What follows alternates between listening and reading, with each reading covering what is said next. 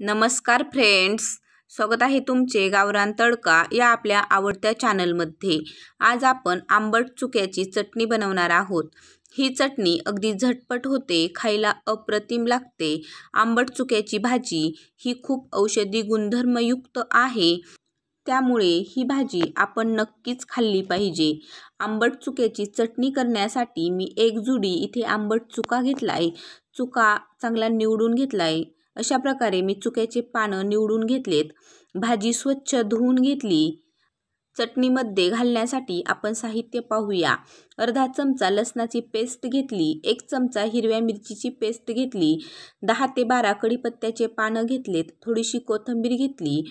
अर्धी वाटी कच्चे शेंगदाणे खलबत्त्यात ओबडधोबड कुटून घेतलेत. आता आपण भाजी बारीक कट करून घेऊया.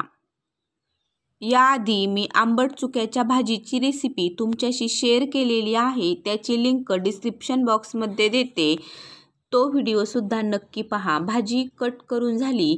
आता आपण फोडणी देऊयात.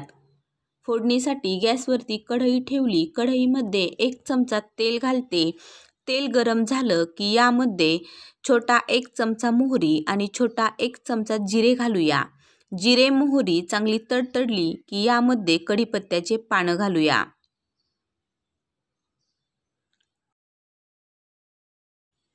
आता लसूण पेस्ट घालूया. लसूण पेस्ट ऐवजी तुम्ही लसणाचे छोटे छोटे तुकडे करून घातले तरीही चालेल. लसूण पेस्ट थोडीशी परतली की लगेच हिरव्या मिरचीची पेस्ट घालूया. मी चार हिरव्या मिरच्या खलबत्त्यात अशा प्रकारे कुटून घेतल्यात. याला चांगलं परतवून घेऊया. एक चिमूट हिंग घालूया.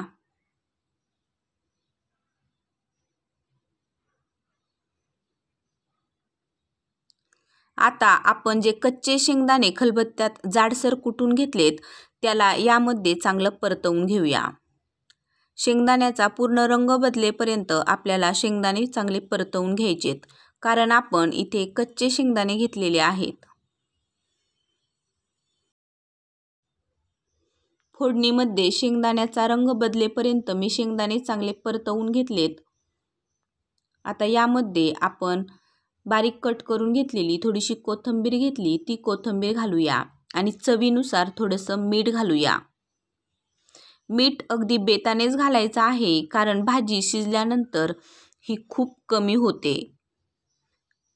आता बारीक कट करून घेतलेली भाजी घालूया. भाजी सुरुवातीला खूप जास्त दिसते पण भाजी शिजल्यानंतर ही एकदम कमी होते. तर आपण भाजीला जसजसं परतू तशी भाजी लगेच खूप कमी होते. आता भाजीला आंगचंच पाणी सुटेल आणि भाजी शिजल्यानंतर खूप कमी होईल. ही भाजी शिजायला अजिबात जास्त वेळ लागत नाही. अगदी तीन ते चार मिनटातच आपली भाजी छान शिजते. भाजी कढईमध्ये टाकल्यानंतर सुरुवातीला खूप जास्त होती पण नंतर भाजी जसजशी शिजल तशी भाजी पूर्ण कमी झालेली आहे आणि भाजीला पाणी सुटलेलं आहे. तर भाजीतील पूर्ण पाणी आपण आटून देणार आहोत.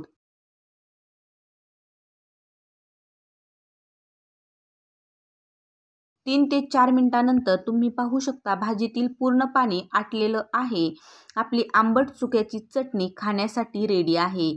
चला तर मग फ्रेंड्स तुम्ही सुद्धा ही पौष्टिक चटणी नक्की बनवा. ही चटणी जेवणाची चव नक्कीच वाढवेल. आजचा व्हिडिओ पूर्ण पाहिल्याबद्दल मनापासून धन्यवाद. भेटूयात आता अशाच एका नवीन छानशा रेसिपीसोबत